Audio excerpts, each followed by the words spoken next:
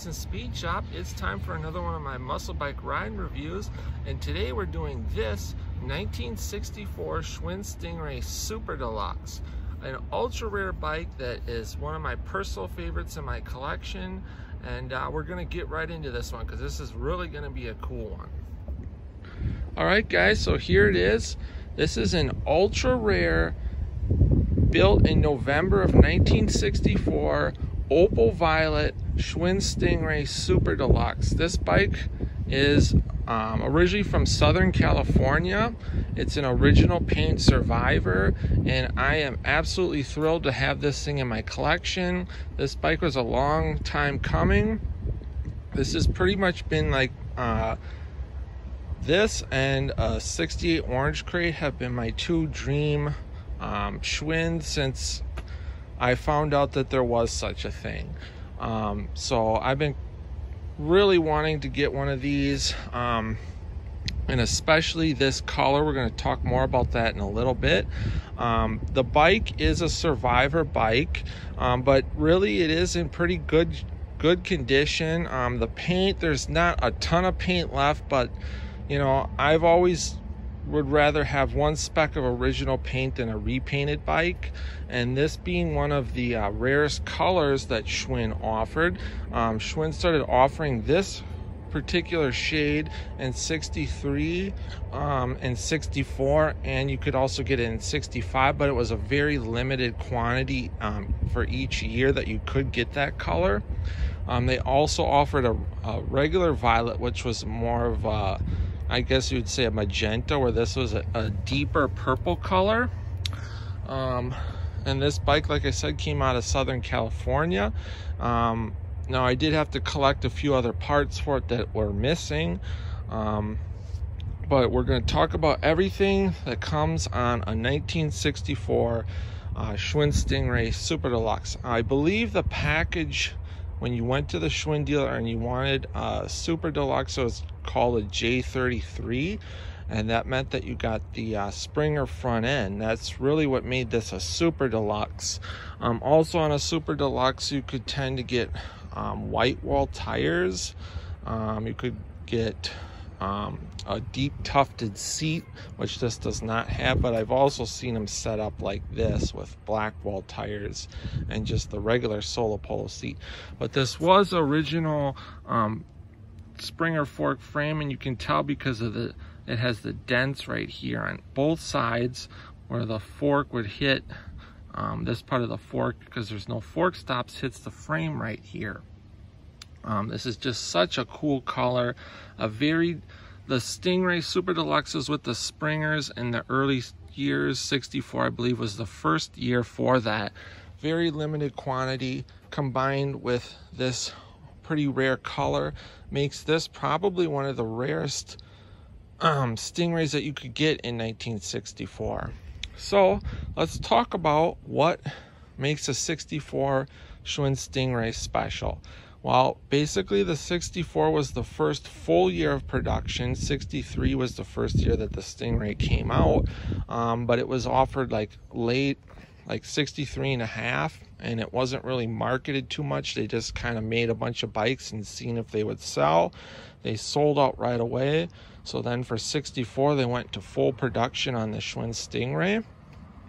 Um, but 64 was the last year for this square back style sissy bar and this solo polo style seat.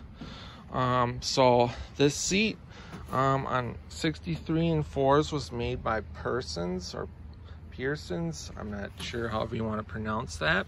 Um, they made these seats for Schwinn. In 1965, they went to basically the standard kind of style um, banana seat. Also in 1964, you got this square back sissy bar.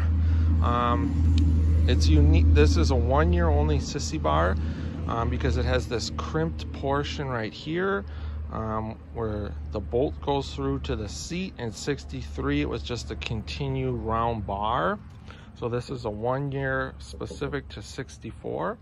Um, also has the correct little Q um, bolt for the seat. Um, in 1964 and all the early like 63 to 65 Schwinn's had this longer um, extended type seat clamp here and it also will have um, an AS on the bolt that stands for Arnold Schwinn.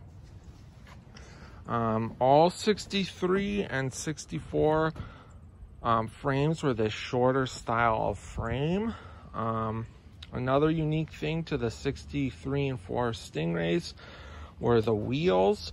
Um, up front, you got an S7 28 spoke wheel and out back you got an S2 heavy duty 36 spoke wheel. Um, in 1965 they went to a 28 spoke front and back so you got a bigger um, more heavy duty wheel in the back for on the early Stingrays. Um, this was this is the original crank. I pulled it out. Um, it's correct 64 date code and everything on it. Re-greased the bearings and everything. Um, this sprocket's also the original one that came on this bike from the factory.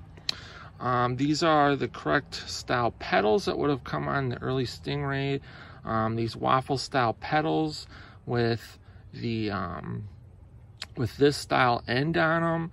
Um, usually um, these kind of rotate. I think they were supposed to from the factory, but originally they were a little bit tighter.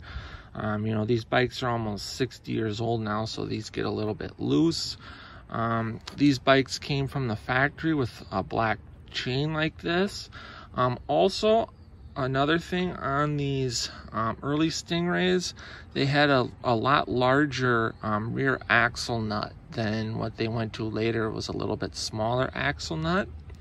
Um, this bike, these aren't the original tires that came on the bike from the factory. Obviously, this bike's been rolled and used over the years, but uh, these are basically the same style tires that would have come on this bike from the factory. These tires are actually vintage though. They're probably from the late 60s or early 70s, but you would have gotten this knobby style back tire and then a brick tire up front. Um, on the Super Deluxe that came with the Springer fork, um, this is a really, really my favorite look on a Stingray is to have that Springer fork. This looks so cool. Um, one neat thing also is it has the um, AS on the fork bolts also. That stands for Arnold Schwinn, um, which he was kind of partnered with Schwinn as an investor um, from pretty much day one and uh, they included the AS on the bikes up until like the mid 60s and then they got rid of that. They bought him out and then just started putting the S for just straight Schwinn. Um, these early Stingrays also have this fat fatter stem on them um, these are the correct 64 style um, butterfly handlebars which were um, a pretty wide handlebar um, they ran these through 65. Um, these are the original um, white chubby grips on here. Um, this bike also has um, some accessory matching violet um, crossed flag valve stem caps, which I really think are cool. let's see if we can get in here, but this is the original head badge. It's pretty worn, but these are the early 63 to 65 Stingrays. Um, it will not say Chicago on the bottom and it's really hard to see, but the trademark R right next to the last N should be silver, not black on these early ones. Um, this is the original correct kickstand, um, which was chromed from the factory. Um, you just have a kickback brake on here. There were no caliper brakes at that time. Um, just basically a nice, simple, very neat looking, single speed, single kickback brake, really cool bike, super rare, very desirable. Everybody that collects these old Schwinns wants an early one, and this is probably about as you know cool of an early Schwinn that you can get. So I'm super happy to have it. Uh, one thing I forgot here, um, this is the correct um, reflector bracket for these early Schwinn's. This would have only been on these square back sissy bars, um, 63 and 64. Um, it clamps around and bolts, and then you've got this smaller little round um, reflector here. That's correct for 63 and 4 only. Um, so that's basically the overview of the bike. I hope you guys dig this. If you got any more questions on on this bike or on the early Stingrays or Stingrays in general, leave a comment. I can usually try to help you out as best as I can. But we're going to take this thing for a ride. I have not rolled this bike yet. Um, so we're going to see how this goes. I've never rode one of these early Stingrays either. So this is going to be pretty cool. Um, so uh, let's go take this thing for a ride. All right, guys, so let's take this thing for a ride. Now, I've heard from a lot of people that although these Solo Polo seats look really cool. They are not the most comfortable in the world, so we're gonna find out right now. So sitting on the bike um, is definitely not a super comfortable seat. Um, it just kind of feels like you're basically sitting on a board, although it's not too bad. Um, but otherwise, I love how these bars feel. These are probably like the coolest looking bar that ever came on a Stingray. They're nice nice and wide and high and, and really have that cool ape hanger type look on it. Here's a look down at the Springer and that cool uh, remnant of the purple paint. One thing that I really like on this bike is where the original Schwinn Tampo was, the most of the white's worn off and it left the original purple paint underneath. So it's basically, you know, Schwinn in purple with the little stars and it just kind of looks really cool. I really like the patina on this bike, even though it's pretty worn, it just has a neat look to it. So we got our kickstand up and uh, let's take this thing for a little bit of a ride. I really like the single speed bikes the best. Um, with these little cranks, you really got to pedal quite a bit to keep the bike going, but this thing rolls pretty good. Um, with the shorter wheelbase, it's got a really nice tight turning radius, handles pretty good. Um, we just have a kickback brake on here, so let's try that out. That works pretty good. Um, but just, I really like these little single speed, this single brake, just a fun little bike to ride around. This probably wouldn't be something that you'd want to take on a long ride because your legs would really get a workout. Um, but it's a fun little bike to ride. It's super cool, and people really get, would dig something like this. Again, this is like every Schwinn collector would love to have something like this in their collection. I'm super happy to have it in my collection.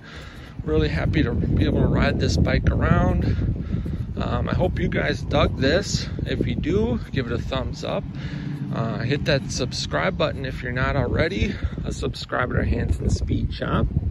Go check out the channel for other muscle bike stuff and a lot of other cool uh, car and bike videos. Otherwise, until next time, guys, get out work on your own projects, get those hands dirty and greasy, Stay cool, and we'll catch you cats on the next one. Thanks for watching.